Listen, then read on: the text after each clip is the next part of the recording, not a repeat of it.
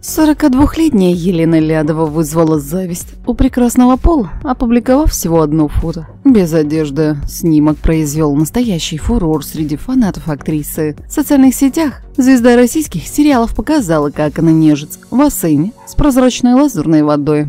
На брюнетке был ярко-красный раздельный купальник, который подчеркивал ее прелести. Долго ждать реакции от подписчиков не пришлось. Знаменитость засыпали комплиментами, много внимания уделили россияне именно прекрасной форме супруги Владимира Вдовиченкова. А фигурка-то огонь. Просто загляденье, какая красивая. Фигура у вас атас. Даже немного завидую. Очень горячо написали поклонники актрисы. А что скажете вы? Пишите свои мысли в комментариях.